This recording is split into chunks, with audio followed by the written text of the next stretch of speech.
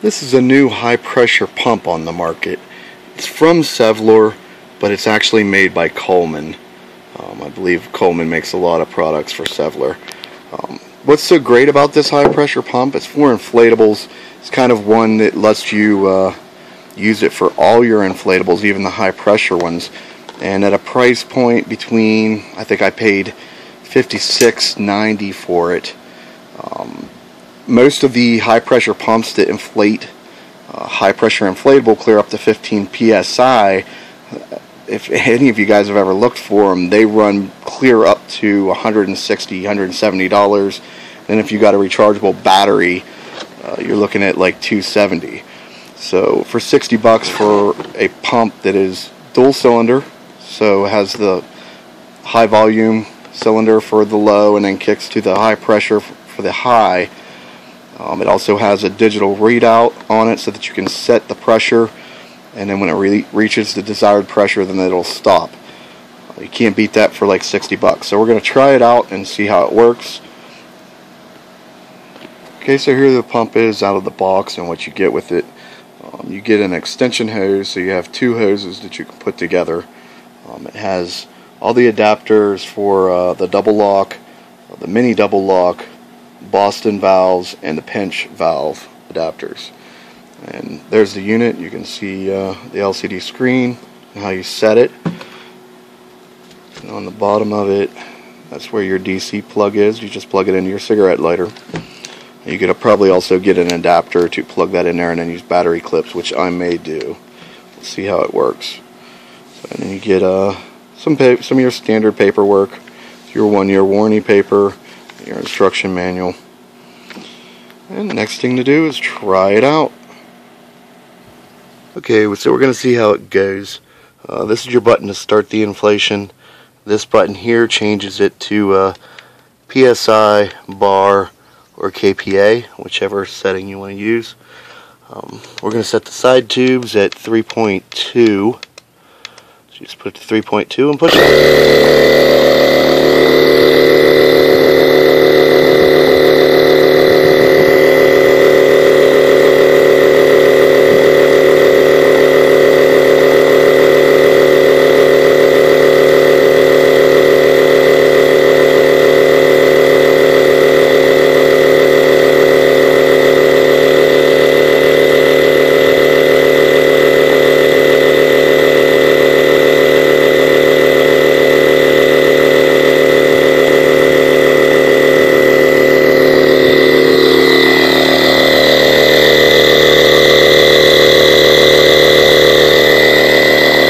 You'll notice that when it gets to uh, where it's starting to get to the high pressure, then what it's going to do is it's going to show on the pressure gauge it going up and then it'll shut off. So I'll zoom in on that when it gets here and starts going to high pressure.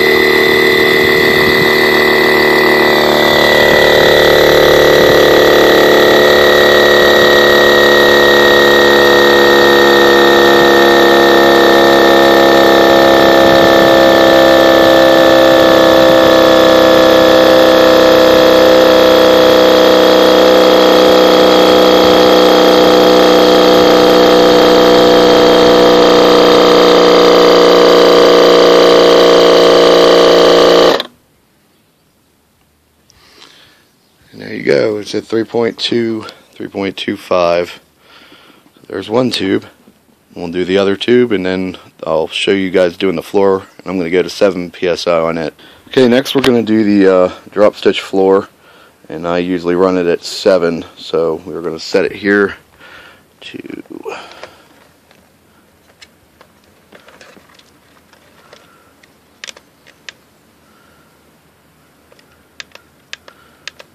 seven.